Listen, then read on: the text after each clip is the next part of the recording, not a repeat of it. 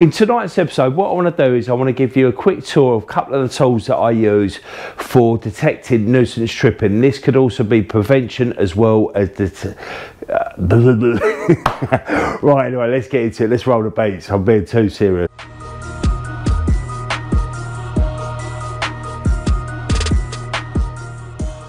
Oi, oi. Good evening, fellow Groove Riders. Will from Will's Electrical Services, also known as the Midfield General. In tonight's episode, what I want to do is I want to give you a little tour of how I find RCD nuisance stripping, how to find faults with RCDs and all that. This is a bit more of a professional video, so if you're DIY Dave and you've come to have a little look, unless, unless you've probably got about two grand, you might as well, uh, it's probably not for you.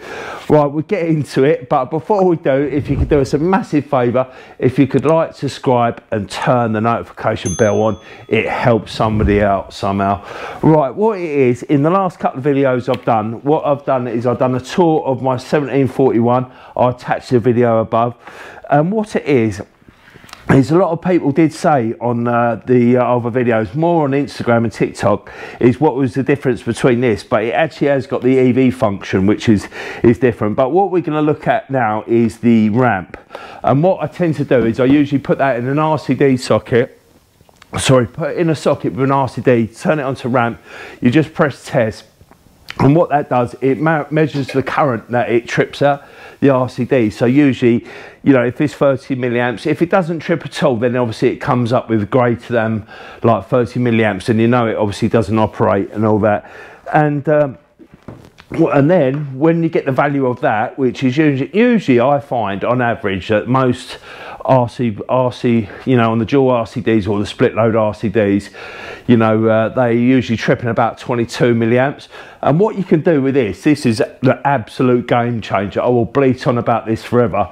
And this is the Megger uh, Earth leakage clamp, is that what this does is as soon as you get as soon as you put the cables as soon as you put the uh, tails or the actual particular circuit you need you have to have the neutral and the uh, the, the neutral of the live through through the actual ring for it to measure. And what I usually try to you know usually find that does it is run the tails. And what you can do which I didn't really explain in the videos because I am aware about you know I'm not trying to I'm just trying to show you little tips. I'm not trying to teach you anything. I'm not qualified I'm a qualified test, you know, I'm a qualified electrician and a tester, but I'm not qualified to teach and all that. But I'm just that's what I, I am aware of that. And um, what you can do is with this, which is really good, is that when you've got the circuit through there, like especially if it's on the tails, which globally, you can actually go through each individual overload like MCB and all that and it will reduce and as it goes along so you can actually find it that way and it's it's absolutely priceless you know and another function that has done and I've not had the fault since I've had that and I've actually got two of these now is what you can actually do is uh, if it's an appliance you can actually get an extension lead but you have to strip the cable. You have to take the earth out of it and then just put it through and then you can plug the appliance in there and see if it's there and if it is an appliance, then what it does is the actual reading there just absolutely bounces up and down. So you notice that. Or if it's if it's a stagnant, you know, thing, then it's uh, the actual so if it's stagnant, then you actually know it's just like the appliances and stuff like that. And what you can find is, which we do find, is like usually on average, like most houses, up like obviously no doubt, I'll probably litter a few photos going along. You usually find about like six or seven milliamps, and as you usually do, just click through them, then you can find what appliance it is. But this, as I say, I've done a review of this one. That's really expensive. This is one of my cheaper ones that I've got. This is this is a Di-Log one or DeLonghi, however you want to say it. But obviously it's a lot smaller and you can see the size of the jaws. You know, you probably scrape to get the tails in there.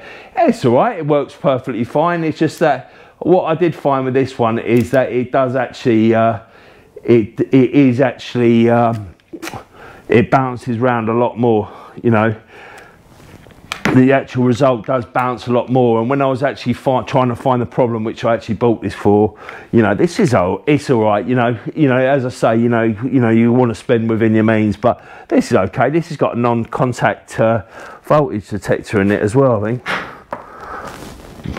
Bit weird, isn't it? but yeah, they're all right. I think Ethos do them. I think they're about 30 quid. But as I say, if you're starting out and all that and you want to try it, it's all right. It's really good.